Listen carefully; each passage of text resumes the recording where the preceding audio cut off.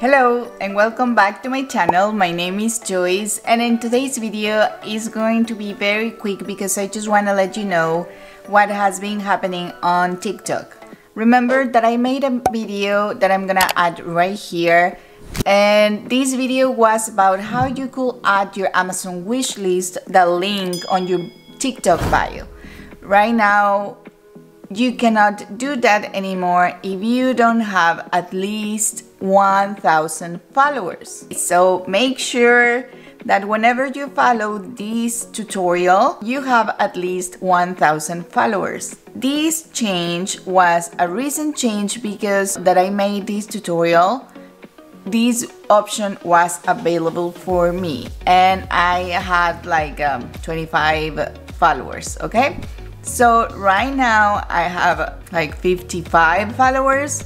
I need to pay more attention to TikTok, I guess. But right now I cannot make this change or follow this tutorial because it doesn't work for me.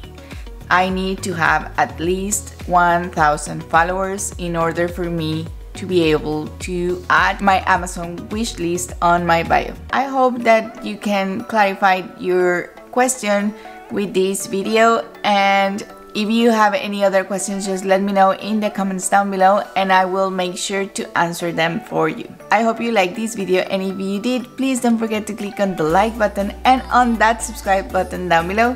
Thank you so much for watching and see you the next time. Bye bye.